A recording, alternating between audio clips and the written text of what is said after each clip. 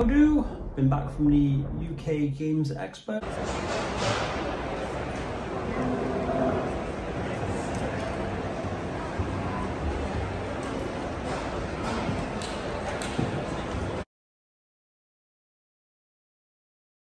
Where I took a punt and picked up Sword and Sorcery. Now this is the second core set they've uh, released. I'd never played the first one. It's called Ancient Chronicles. I believe it's still being uh, delivered as a Kickstarter in its in its full form, but this is the retail box. It's got some nice high fantasy artwork on there, as you can see. It's by Ares Games. I also picked up uh, the Spawn Gates and God Altars, which is a little expansion pack that gives you some extra plastic pieces over the card and I got the um, Ghost Soul Form Heroes and the reason I picked up these is because uh, in this game you're you start off as a as a ghost essentially. You're dead and the gods have resurrected you to do their bidding. You're immortal. You can't die as such until you've completed their quest. Um, you uh, if you do die you know in brackets uh, then you go back to a sort of a kind of an altar like a spawn point and then you can uh, spend souls to resurrect yourself back into corporeal form and then you can continue on. But you will have downgraded your stats. Um, so I'll show you quickly the miniatures in the tray. Uh, obviously there's a few heroes missing because I'm testing out the first scenario. Uh, the uh, boss, enemy boss is quite nice, there you go. I'll probably do a more in-depth review on the miniatures at another point. Um, but they're slightly different to your normal sort of uh, dragons and uh, it's got a sort of high fantasy feel to it. So I'll give you a quick spin around and give you a look at uh, what it's about. I've put the tokens, and there's a lot of tokens into an organizer. There are lots. And it does seem quite overwhelming when you first look at it. There are three books included. This is the rule book. Uh, but we're going to give it a go. It's quite in depth.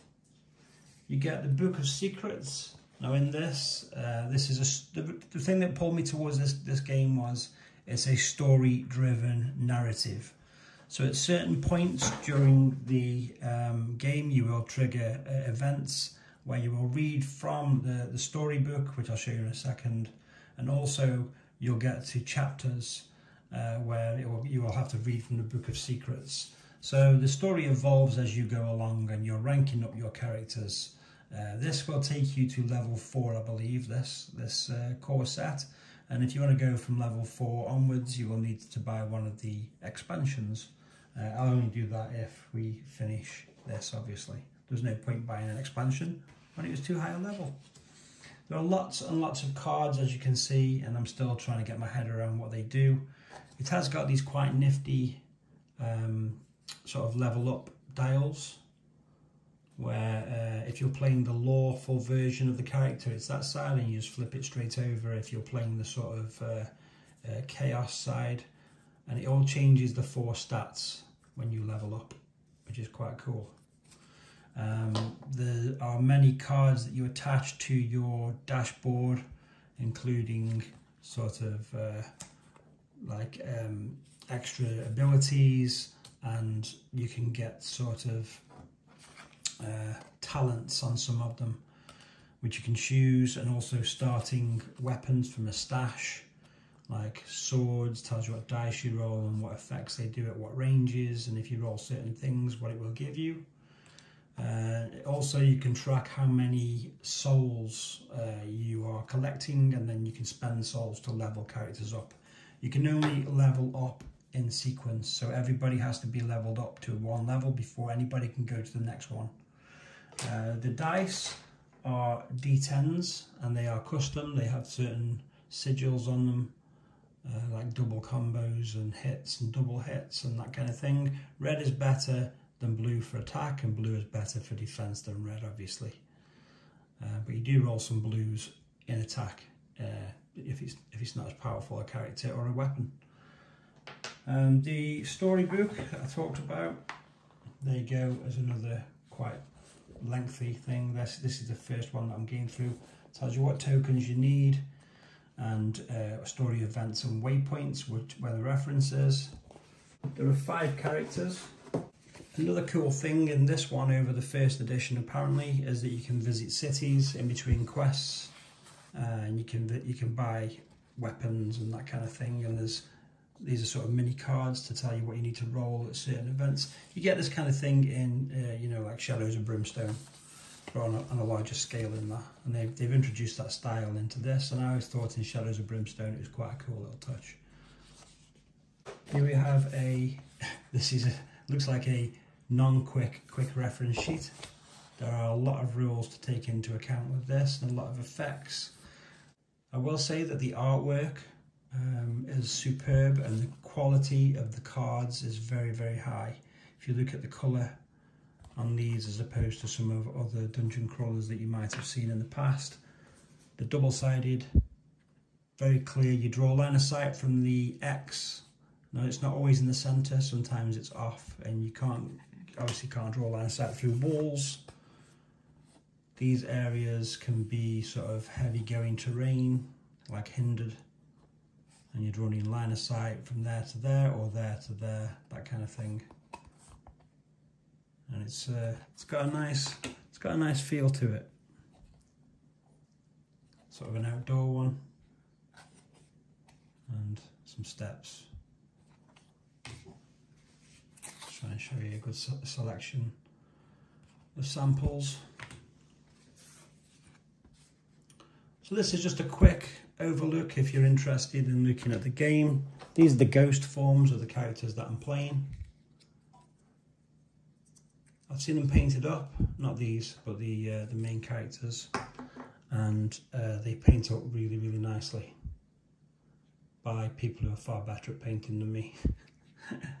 you can also get, uh, like I say, these are the spawn tokens in plastic, and you can also, if you wish, get the doors in plastic, but I'm not too bothered about that because there's only about three or four doors uh, are ever going to be on the board at any one time, and these are quite nice, to be fair. Um, I think uh, minions, if I would suggest what you would get if you were looking at uh, buying the core set, get the ghost forms, get the uh, altars and portals, because these are quite nice and get the minions. That's why I didn't pick up because I wasn't I didn't understand anything about the game. The minions are sort of like tiny little spiders and things that you might find you get a token for. So you get that as a card stock reference and obviously it's better if it was in plastic than a, than a cardboard token. Um, and that's it for this overview. There's a whole stack of, of treasure. The AI system for the enemies is really cool. You will draw an enemy card uh, usually stated which ones you will mix into the deck for a particular section. And then uh, some of them will draw uh, an enemy power card. And this tells you how it will attack. And that will affect the card that you draw. So you will get this. And then you'll see what it does so it would depend on where the enemy is and where you are how many spaces away it is and you go down in sequence until it will do an attack. So you've got the standard attacks that it will do, but also they are varied by the enemy power card that you might draw that will tell it to do a different status effect. So it always gives you a challenge and will always vary up the uh, attack of the enemies, which is unusual. So the AI is supposed to be very good and it does seem like it's got a lot of crunch to it. Um, here's some of the other uh, minions like the nests okay? And there's traps. If you open a door, you draw a trap card. If you open a chest, you draw a trap card, that kind of thing. Uh, there are lots of abilities and extras that you can add on to your characters and level them up as you go along. So that's the thing for me. It was story driven. It was quite different looking and I didn't realise it had just come out, but it seems like it's just come out. So that is my quick uh, guerrilla style review of Sword and Sorcery Ancient Chronicles. Thanks for watching.